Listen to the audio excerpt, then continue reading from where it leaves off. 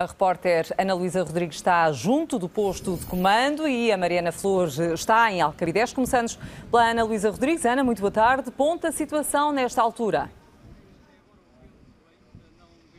Bem, Cristina, um, o que aqui dominou toda a tarde, além dos meios terrestres e aéreos, foi, como nós podemos perceber neste direto, o vento. Aliás, foi a principal situação que dificultou o trabalho dos bombeiros. Em todo este vale, eu vou-me desviar um pouco para o Paulo Gonçalves mostrar. Portanto, toda esta zona ardeu. Aqui estamos aqui na freguesia de Murches, uh, Conselho de Cascais, uh, onde estiveram envolvidos uh, 277 bombeiros e 80 viaturas. Neste momento decorrem já, portanto, toda esta zona no Conselho de Cascais ardeu, todo este vale, e foram, mas decisivas foram as operações por parte dos, além dos meios no terreno, também das viaturas, também os meios aéreos. Quatro meios aéreos que cerca de uh, fizeram inúmeras descargas, aliás, bastante próximo deste de onde nós estamos, uh, fizemos essas imagens também, uh, e esses meios aéreos, como eu dizia,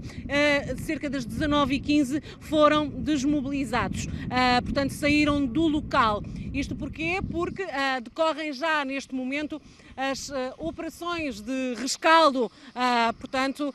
Um, eh, o, incêndio, portanto, foi controlado, o incêndio que flagrou cerca das três da tarde, foi controlado e decorrem já, podemos também ver alguns bombeiros no terreno ali, mas que estão envolvidos neste momento nas operações de rescaldo.